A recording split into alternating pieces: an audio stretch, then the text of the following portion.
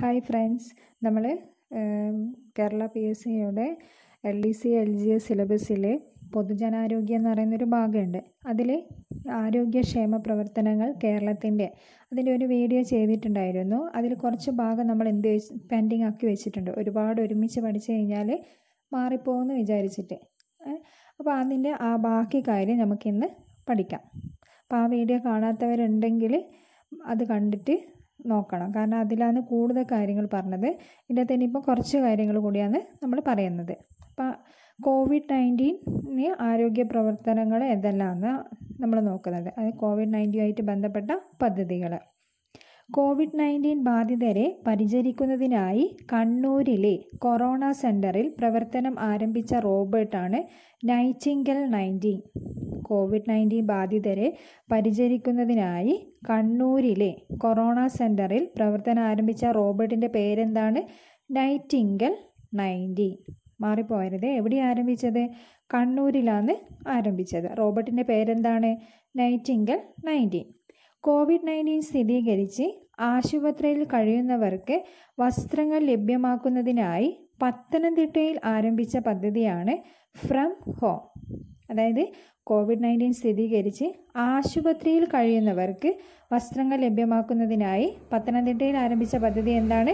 From home lockdown സാഹചര്യത്തിൽ അവശ്യ മരുന്നുകൾ രോഗികൾക്ക് ലഭ്യമാക്കുന്നതിനായി മലപ്പുറം ജില്ലയിൽ ആരംഭിച്ച പദ്ധതിയാണ് സഞ്ജീവനി.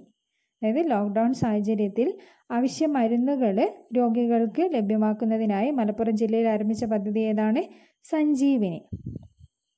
കോവിഡ് നയന്റീൻ വൈറസ് വ്യാപനത്തിന്റെ ഭാഗമായി വയോജനങ്ങളുടെ രോഗപ്രതിരോധ ശേഷി വർദ്ധിപ്പിക്കാൻ ആയുർവേദ വകുപ്പ് കണ്ണൂർ ജില്ലയിൽ ആരംഭിക്കുന്ന പദ്ധതിയാണ് സുഖായൂഷ്യം. അതായത് കണ്ണൂർ ജില്ലയിൽ ഒന്നുണ്ട് എന്നാണ്. അത് കോവിഡ് നയന്റീൻ ബാധിതരെ പരിചരിക്കുന്നതിനായി കണ്ണൂരിലെ കൊറോണ സെന്ററിൽ ആരംഭിച്ച റോബോട്ടാണ് ഇത് നൈറ്റിംഗിൾ നയന്റീൻ ഇനി ഇപ്പം പറഞ്ഞത് എന്താണ്? കോവിഡ് നയന്റീൻ വൈറസ് വ്യാപനത്തിന്റെ ഭാഗമായി വയോജനങ്ങളുടെ രോഗപ്രതിരോധ ശേഷി വർദ്ധിപ്പിക്കാൻ ആയുർവേദ വകുപ്പ് കണ്ണൂർ ജില്ലയിൽ ആരംഭിച്ച പദ്ധതിയാണ് എന്ത്? സുഖായൂഷ്യം. അപ്പോൾ കണ്ണൂർ ജില്ലയിൽ രണ്ടെണ്ണം പഠിച്ചു. ഒന്നെന്താണ് നൈറ്റിംഗിൾ നയന്റീനും അതൊരു റോബോട്ടാണ് പിന്നെ എന്താണ്? സുഖായൂഷ്യം.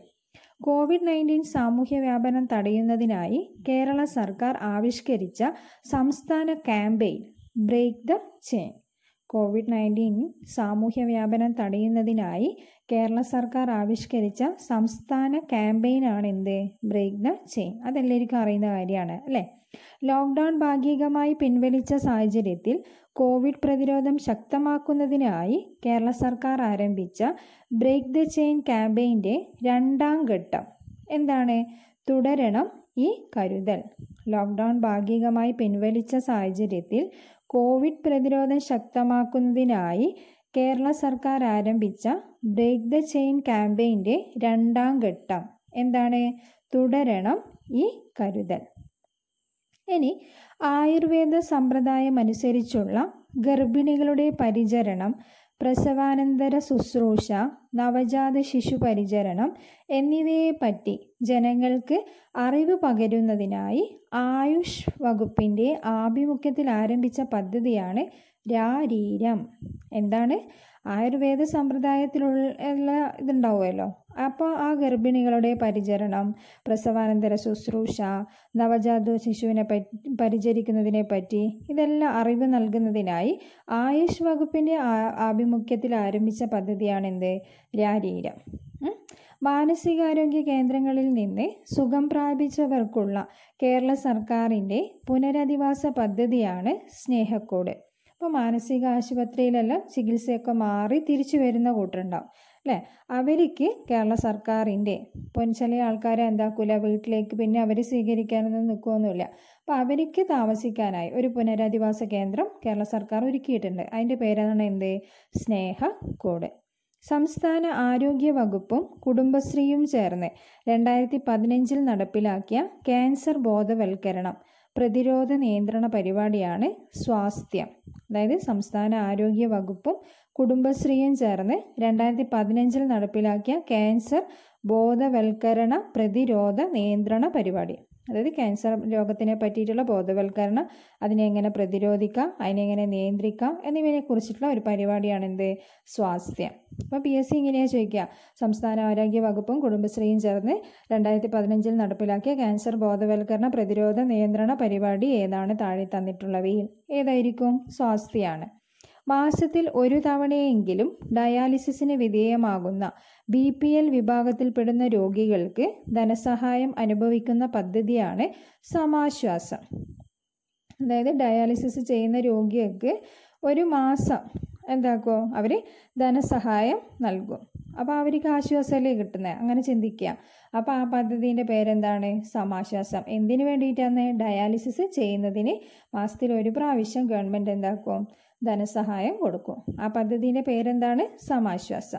ജീവിതശൈലി രോഗങ്ങൾക്ക് സൗജന്യ രോഗനിർണയവും ചികിത്സയും ഉറപ്പുവരുന്ന ആരോഗ്യ പദ്ധതിയാണ് അമൃതം ആരോഗ്യം. അതായത് ജീവിതശൈലി രോഗങ്ങൾ നമ്മൾ അന്നൊരു ക്ലാസ്സിൽ നോക്കിയിട്ടുണ്ട്. എന്ത് പ്രമേഹം അല്ലേ? പിന്നെ രക്തസമ്മർദ്ദം. അങ്ങനെ ഏകദേശം ഏകദേശം ആൾക്കാർക്കെല്ലാം ഇപ്പോൾ നിലവിൽ വരുന്ന അസുഖങ്ങൾ ആ അസുഖങ്ങൾക്കെല്ലാം എന്താക്കുന്നുണ്ട്? സൗജന്യമായ രോഗനിർണയ ചികിത്സയും ഉറപ്പുവരുത്തുന്ന അതായത് സൗജന്യ രോഗനിർണയവും ചികിത്സയും. അതായത് എങ്ങനെയാ രോഗം ഉണ്ടോ ഇല്ലയോ നോക്കുക. പിന്നെ അതിന് ചികി അതിന് വേണ്ടിയിട്ടുള്ള ചികിത്സ ഉറപ്പുവരുത്താം. അതിന് വേണ്ടിയിട്ട് സർക്കാർ നൽകിയ പദ്ധതിയാണ് ഇത്. അമൃതം ആരോഗ്യം. അതായത് ജീവിതശൈലി രോഗങ്ങൾക്ക് സൗജന്യ രോഗനിർണയവും ചികിത്സയും ഉറപ്പുവരുത്തുന്ന ആരോഗ്യ പദ്ധതി. എന്താണ്? അമൃതം ആരോഗ്യം.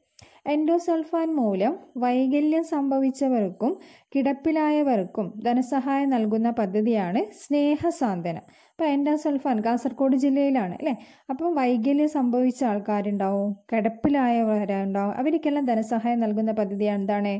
സ്നേഹസാന്ത്വനം. എന്നാൽ ഡയാലിസിസ് കൊടുക്കുന്ന ആൾക്കാർക്ക് ധനസഹായം നൽകുന്നത് സ്നേഹസാന്ത്വനാണോ? അല്ല. എന്തായിരുന്നു? സമാശ്വാസമാണ്. എന്നാൽ എൻഡോസൾഫാൻ മൂലം വൈകല്യം സംഭവിച്ചവർക്കും കിടപ്പിലായവർക്കും ധനസഹായം കൊടുക്കുന്ന പദ്ധതി എന്താണ്? സ്നേഹ സാന്ത്വന. പതിനെട്ട് വയസ്സിന് താഴെയുള്ള ജന്മന ഹൃദയ വൈകല്യമുള്ള കുട്ടികൾക്ക് സൗജന്യ ചികിത്സ നൽകുന്ന പദ്ധതിയാണ് ഹൃദ്യം. അതായത് പതിനെട്ട് വയസ്സിന് താഴെയുള്ള കുട്ടികളുണ്ടാവില്ലേ? അവർക്ക് ഹൃദയ വൈകല്യമുള്ളവർക്ക് സൗജന്യ ചികിത്സ നൽകുന്നതാണ് ഹൃദ്യം. അപ്പോൾ ഹൃദയ വൈകല്യം ഹൃദ്യം. അങ്ങനെ ആലോചിക്കുക. അപ്പം പതിനെട്ട് വയസ്സിന് താഴെയുള്ള കുട്ടികൾക്കാണ്. അപ്പം പതിനെട്ട് വയസ്സിന് താഴെയുള്ള ജന്മനാ ഹൃദയവൈകല്യമുള്ളവർക്ക് സൗജന്യ ചികിത്സ നൽകുന്ന പദ്ധതിയാണ് എന്ത്? ഹൃദ്യം. വീടുകളിൽ ഒറ്റപ്പെട്ട് കഴിയുന്നവർ കിടപ്പിലായവർ തീവ്ര മാനസിക രോഗികൾ എന്നിവർക്ക് മരുന്ന് ഭക്ഷണം പരിചരണം എന്നിവ ഉറപ്പാക്കാൻ കേരള സർക്കാർ പ്രഖ്യാപിച്ച പുതിയ പദ്ധതി പുതിയ പദ്ധതിന്റെ പേരെന്താണ്? കനിവാണ്. ഭിന്നലിംഗക്കാരെ സമൂഹത്തിന്റെ മുൻനിരയിലേക്ക് ഉയർത്തിക്കൊണ്ടുവരുന്നതിനായി സംസ്ഥാന സാമൂഹിക വകുപ്പ് ആരംഭിച്ച പുതിയ പദ്ധതിയാണ് മഴവില്ല്. അതായത് ഭിന്നലിംഗക്കാർ സമൂഹത്തിന്റെ മുൻനിരയിൽ ഉയർത്തിക്കൊണ്ടുവരുന്നതിനായി സംസ്ഥാന സാമൂഹിക വകുപ്പ് ആരംഭിച്ച പദ്ധതി എന്താണ്? മഴവില്ല്. കേരളത്തെ ലഹരി വിമുക്തമാക്കുക എന്ന ലക്ഷ്യത്തോടെ ആരംഭിച്ച പദ്ധതിയാണ് വിമുക്തി. കേരളത്തെ ലഹരി വിമുക്തമാക്കുക. അപ്പം വിമുക്തമാക്കുക എന്ന് നമ്മളെ വാക്ക് ആലോചിക്കുക. അപ്പം എന്താണ് വിമുക്തി പദ്ധതിന്റെ പേര്. കേരളത്തെ ലഹരി വിമുക്തമാക്കുക എന്ന ലക്ഷ്യത്തോടെ ആരംഭിച്ച പദ്ധതി ക്വസ്റ്റ്യനിൽ ലഹരി വിമുക്തമാക്കുക എന്ന് നമുക്ക് തന്നിട്ടുണ്ടാവും അപ്പം വിമുക്തമാക്കുക എന്ന് കാണുമ്പോൾ തന്നെ ഓപ്ഷനിൽ നോക്കുക. വിമുക്തി ഉണ്ടോ എന്ന്. അപ്പോൾ അത് എഴുതുക. അപ്പോൾ കേരളത്തെ ലഹരി വിമുക്തമാക്കുക എന്ന ലക്ഷ്യത്തോടെ ആരംഭിച്ച പദ്ധതിയാണ് വിമുക്തി. അതിന്റെ ബ്രാൻഡ് അംബാസിഡർ സച്ചിൻ ടെണ്ടുൽക്കർ ആണ് കേട്ടോ. അപ്പോൾ ഈ വിമുക്തിയുടെ ബ്രാൻഡ് അംബാസിഡർ ആരാണ്? Sachin Tendulkar. H I V ബാധിതരുടെ മക്കൾക്ക് പ്രത്യേക കരുതൽ നൽകാൻ സംസ്ഥാന സർക്കാർ നടപ്പിലാക്കിയ പുതിയ പദ്ധതിയാണ് സ്നേഹപൂർവം പദ്ധതി. എച്ച് ഐ വി ബാധിതരുടെ മക്കൾക്ക് പ്രത്യേക കരുതൽ നൽകാൻ കേരള സർക്കാർ നടപ്പിലാക്കിയ പുതിയ പദ്ധതി എന്താണ്? സ്നേഹപൂർവ പദ്ധതി. അപ്പം ഇത്രയും കാര്യങ്ങളാണ് ഇന്ന് നമ്മൾ ഇവിടെ പഠിച്ചത്. അപ്പോൾ ഇന്ന് തന്നെ എന്ത് ചെയ്യുക എല്ലാവരും പഠിച്ചു വെക്കുക. അപ്പോൾ കഴിഞ്ഞ ക്ലാസ് കാണാത്തവരുണ്ടെങ്കിൽ അതൊന്ന് കാണുക. അപ്പോൾ വീഡിയോ ഇഷ്ടമായാൽ എല്ലാവരും സബ്സ്ക്രൈബ് ചെയ്യുക ഷെയർ ചെയ്യുക ലൈക്ക് ചെയ്യുക. പിന്നെ അതിന്റെ അടുത്തുള്ള ബെൽ ബട്ടണിൽ ക്ലിക്ക് ചെയ്യാതെ പുതിയ നോട്ടിഫിക്കേഷൻ ലഭിക്കുന്നതായിരിക്കും. Okay bye